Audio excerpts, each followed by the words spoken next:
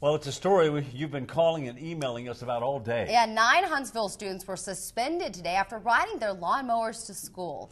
4029's Kirsten Holmes joins us live with more on this story. Kirsten? That's right, Craig and Angela. Now, students and parents here are shocked that what they thought was a harmless prank has gotten nine students suspended from school. Now, this is the prank caught on a cell phone camera video of the group of students riding lawnmowers to school. Shortly after this, the boys were suspended for two days. Students, parents, and even people who live in the area say the suspension went too far.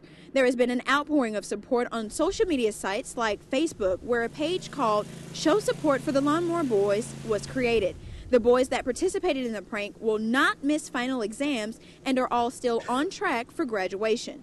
School officials say there had to be consequences because the lawnmower ride caused a disruption.